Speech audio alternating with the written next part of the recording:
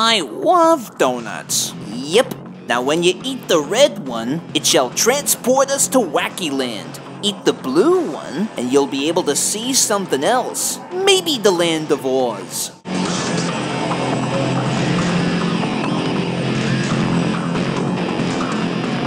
Welcome to Wacky Land, Elmer Fudd, the place where all your wildest imaginations come true.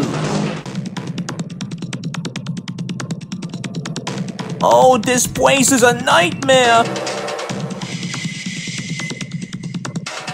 Hey Elmer, look! I think I can see that dodo up ahead.